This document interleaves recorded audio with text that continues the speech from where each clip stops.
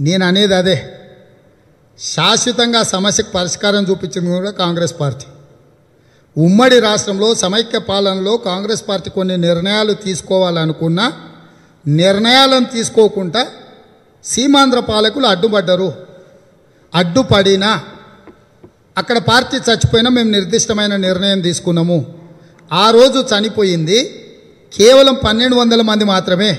ఈరోజు తెలంగాణ వచ్చినాక national crime record bureau ప్రకారము రైతులు ఎనిమిది వేల ఎనిమిది వందల మంది చచ్చిపోయినరు.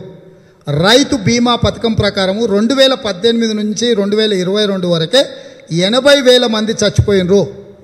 అనధికారిక లెక్కల ప్రకారం రెండు లక్షల మంది చచ్చిపోయినరు. వచ్చిన తెలంగాణ రాష్ట్రానికి మొదటి ప్రభుత్వం మీరే మొదటి ముఖ్యమంత్రి మీ కుటుంబమే. మీ పాలనలో రెండు లక్షల మంది చచ్చిపోయారు తెలంగాణలో. ఈ ప్రాణాలను బలిగొన్నందుకు మీ జవాబు ఏందని నేను అడుగుతున్నా. మేము ఒక సమస్యను గుర్తించినాం ఆ సమస్యను పరిష్కరించినాం శాశ్వతంగా.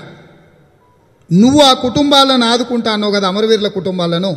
వాళ్ళను ఆదుకోవడానికి నువ్వు చేపట్టిన కార్యాచరణ ఏంది? అమరవీరుల స్తూపంలో కూడా అవినీతికి పాల్పడ్డారు అరవై మూడు కోట్లతోని మొదలుపెట్టి నూట ఎనభై కోట్లకు పెంచి అమరవీరుల స్తూపంలో కూడా లంచాలు దిగమింగిన పంది కొక్కులు మీరు.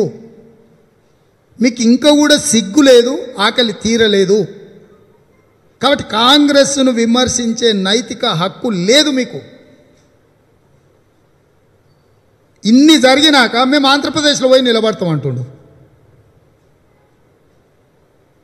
నువ్వు ఆంధ్రప్రదేశ్కి పోయి వాళ్ళని యువతలకి రప్పించి ఏం చేయదలుచుకున్నావు? అసలు అంటే అసలు ఇప్పుడు నువ్వు ఆ రాష్ట్రంలో ఈ రాష్ట్రంలో ఉండదలుచుకున్నప్పుడు నువ్వు ప్రజలకు ఏం సమాధానం చెప్పదలుచుకున్నావు?